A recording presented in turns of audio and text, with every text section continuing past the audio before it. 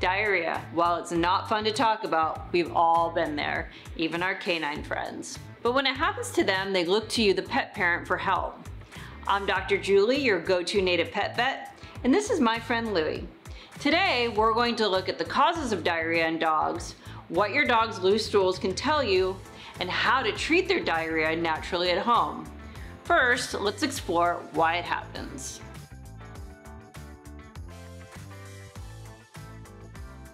Even if it's as simple as an upset belly, something is causing your dog's loose bowel movements.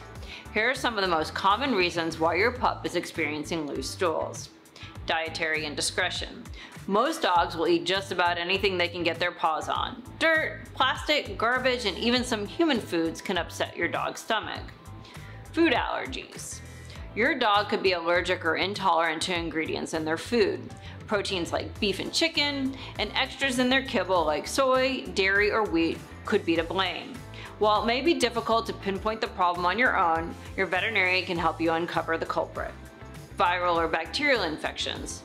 Diarrhea is often the main symptom of viruses like parvovirus and bacterial infections like salmonella. Intestinal parasites. Whipworms, roundworms, hookworms, and microorganisms like Giardia and Coccidia can cause diarrhea. Toxins. When your dog ingests a toxic substance like a poisonous human food like grapes, a painkiller meant for humans, or a household product like antifreeze, their body tries to reject the bad stuff that's gotten into their system. Diarrhea is one way this may happen. Illness.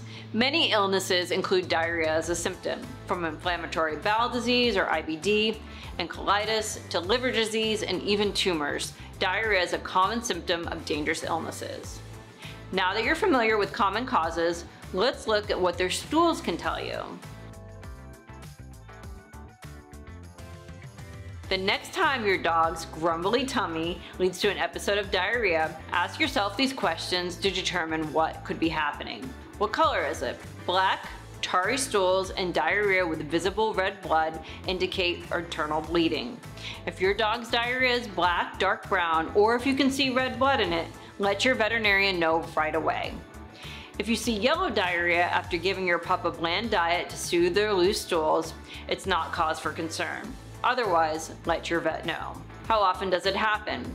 Cases of dog diarrhea are classified as either acute or chronic. Acute diarrhea means one or two episodes of diarrhea which usually resolve on their own or with help from a home remedy.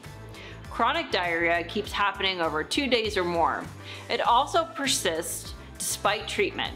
More concerning causes like IBD, parasites, in the intestinal tract and illnesses or infection are usually to blame, so give your vet a call if your dog is dealing with chronic diarrhea.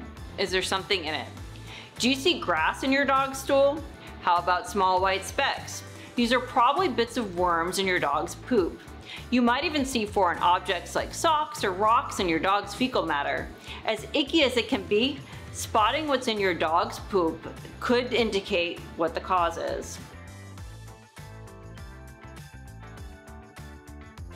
If your pup has an acute case of diarrhea, but you don't see any additional symptoms like vomiting, loss of appetite, or signs of abdominal pain, you can try to relieve your dog's discomfort at home.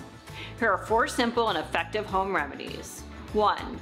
Serve your dog a bland diet. A bland diet of plain boiled white meat chicken and white rice is a classic remedy for your dog's upset bowels. It's easily digestible and the rice starch can help solidify your dog's poop.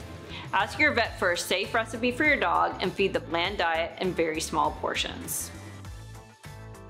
Feed them a scoop of Native Pets pumpkin powder or canned pumpkin.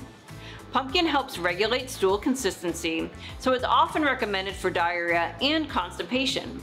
When it comes to pumpkin, you've got two options. You can scoop some of Native Pets pumpkin powder into your dog's bowl. It's super easy to serve and a great alternative to canned pumpkin since nothing will go to waste. Or you can opt for canned pumpkin. Just make sure you're using plain canned pumpkin with no added ingredients.